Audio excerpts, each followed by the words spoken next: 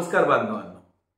आपल्या महाराष्ट्राला साहित्य आणि नाट्य संस्कृतीचं अतिशय चांगला दर्जा आणि चांगली देणगी लाभलेली आहे. परंतु अशा परिस्थितीमध्ये लोककलेच्या नावाने जर आपल्या प्राचीन धर्मग्रंथांचा प्राचीन आपल्या आदर्शांचा जर आपण अपमान करत असू तर या लोककलेचा उपयोग हा समाजात जागृती करण्यासाठी होतोय की समाजाला विकृतीकडे नेण्यासाठी होतोय? काही काळापूर्वी संगीत वस्त्रहरण हे नाटक वादग्रस्त ठरलेलंच होतं.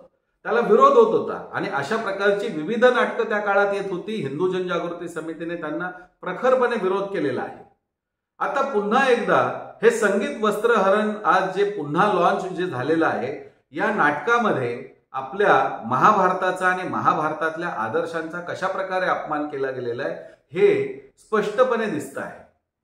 आज ज्याला आपण अर्जुन असं म्हणतो तो अर्जुन आदर्श व्यक्ती असताना भगवान श्रीकृष्णाचा आदर्श शिष्य असताना त्याला दारू प्यायलेलं मध्यधुंद परिस्थितीत दाखवलेलं द्रौपदी द्रौपदीला एकीकडे ती स्वतः विनंती करते पदर घेऊन की माझं वस्त्रहरण करा. हे सामान्यपणे जे नाटक बनवतात त्याच्या घरातल्या स्त्रिया देखील असं करतील का? दुसरी गोष्ट की जो विदूर आहे त्याला बिडी पिताना दाखवलेला आहे. भीष्म जे आहेत की ज्यांना आदर्श ज्यांचं मृत्यूच्या शय्यावरती सुद्धा असताना भगवान श्रीकृष्ण सांगतात त्यांच्याकडून राजनीतीचं ज्ञान घ्या.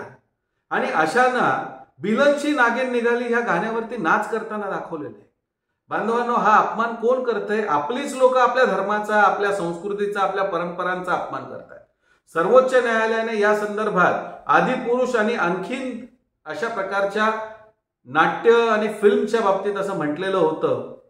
की अभिव्यक्ती स्वातंत्र्य याला देखील मर्यादा आहे. आणि म्हणून आमची विनंती आहे की अशा प्रकारे जे तुम्ही यामध्ये जे काही तुम्ही चाळे दाखवलेले आहेत ह्या चाळ्यांना नाटक म्हणता येणार नाही लोककला म्हणता येणार नाही तेव्हा हा आमच्या धर्माचा अपमान बंद झाला पाहिजे.